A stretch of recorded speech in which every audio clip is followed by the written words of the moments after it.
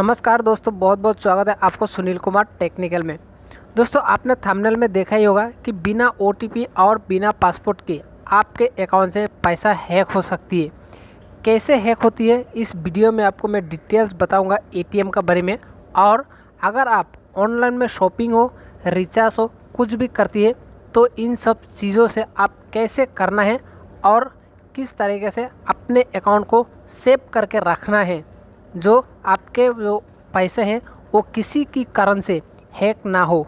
इस वीडियो में बताऊँगा, अगर आप एक एटीएम यूज़र हैं तो वीडियो को लास्ट तक देखते रहिए।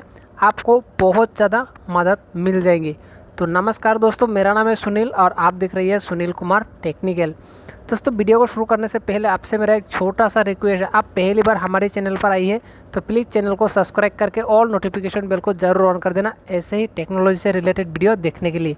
तो चलिए शुरू करती है आज के वीडियो को।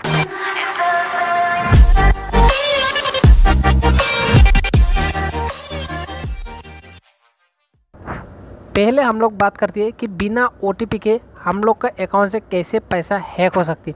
देखिए ऑनलाइन में ऐसा बहुत सारे वेबसाइट है, जिन वेबसाइट के ज़रिए आपके अकाउंट से बिना ओटीपी और बिना पासपोर्ट के आपके अकाउंट से पैसा हैक कर लिया जाता है। वो ऑनलाइन में ऐसा बहुत वेबसाइट है। अगर आप इन सब वेबसाइट के बारे में जानना चाहती है तो आप मुझे कमेंट बॉक्स में ज़रूर बता सकती है। मैं आपके लिए नेक्स्ट वीडियो बना के दे दूँगा, कौन सा वेबसाइट में किस तरीके से पैसा हैक कर लिया जाता है। स्टेप नंबर टू, अगर आपका एटीएम कभी भी खो जाती है, अगर गुम हो जाती है तो सबसे पहले आपको क्या करना चाहिए?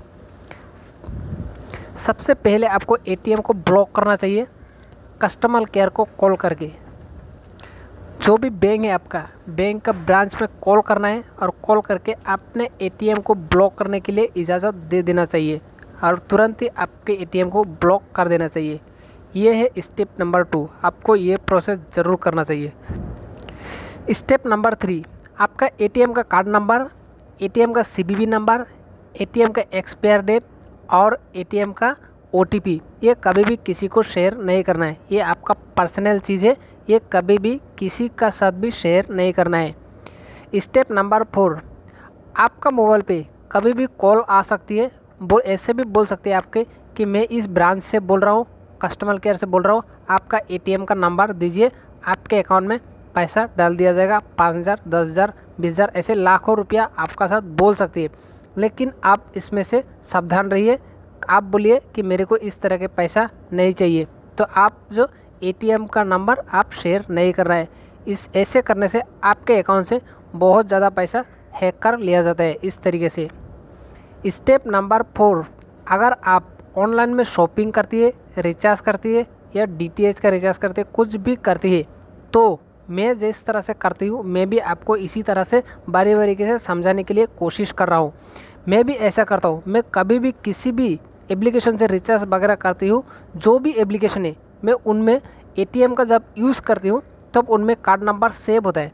तो मैं हर एप्लीकेशन में कार्ड नंबर को वहाँ से डिलीट करके रखता हूँ। मैं कोई भी एप्लीकेशन में मेरा एटीएम कार्ड सेव नहीं है।